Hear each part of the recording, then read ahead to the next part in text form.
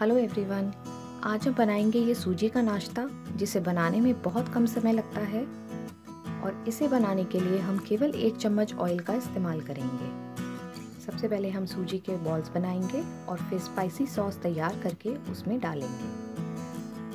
एक कढ़ाई में डेढ़ कटोरी पानी डालें और उसे उबलने के लिए रखें।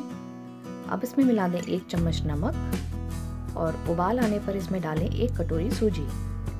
और लगातार चलाते हुए इसको थोड़ी देर पकाएँ। आप ध्यान रखें कि इसमें बिल्कुल भी गांठें नहीं पड़े। इसको तब तक पकाएँ जब तक ये इस तरह से तले से छूटने ना लगे।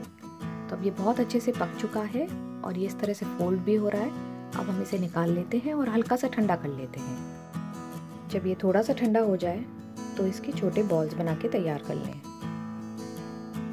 तो इस तरह से मैंने सभी बॉल बना के तैयार कर लिए हैं। अब इसकी सॉस तैयार कर लेते हैं। कढ़ाई में डालेंगे एक चम्मच तेल, एक चम्मच बारीक कटा लहसुन, एक चम्मच अदरक बारीक कटा हुआ, एक चम्मच हरी मिर्च बारीक कटी हुई। सभी चीज़ों को थोड़ी देर के लिए इस तरह से सेकें। अब इसमें डालेंगे प्याज आधी कटोरी, गाजर आधी कटोरी आधी कटोरी शिमला मिर्च। अब चलाते हुए इसको दो से तीन मिनट तक पकाएँगे। अगर आपको हमारा ये वीडियो अच्छा लगे तो चैनल को सब्सक्राइब करना ना भूलें। अब इसमें आधी चम्मच काली मिर्च पाउडर डाल देते हैं और आधी चम्मच नमक। चिली फ्लेक्स आप अपने चॉइस से डालें। मैं यहाँ पे एक चौथाई चम्मच डाल रही हूँ। लगातार चलाएँ और ध्यान रखें कि सब्ज़ियाँ ओवर कुक ना हो। अब इसमें डाल देते हैं टमाटो केचप दो बड़ी चम्मच। एक चम्मच विनेगर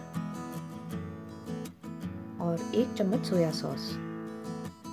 इन सभी चीज़ों का फ्लेवर बिल्कुल मंचूरियन सॉस की तरह आता है, लेकिन इसमें हम कॉर्नफ्लोर या मैदा का इस्तेमाल नहीं कर रहे हैं। अब हम इसमें डाल देंगे पानी।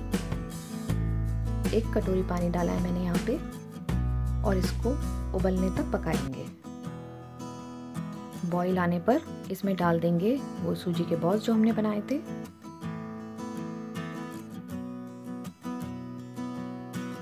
और इसको बहुत ज़्यादा देर तक अब नहीं पकाना है। नहीं तो जो सॉस है वो बहुत गाढ़ी हो जाएगी और सूजी जो है वो सारे सॉस को एब्जॉर्ब कर लेगी। तो इसको फटाफट से गर्मा गर्म सर्व करें। तो आपने देखा कि ये बनाना बहुत ही आसान है और इसका टेस्ट काफ़ी कुछ वेज मंचूरियन जैसा लगता है, क्योंकि सॉस में हमने सारे वही फ्लेवर्स डाले हैं।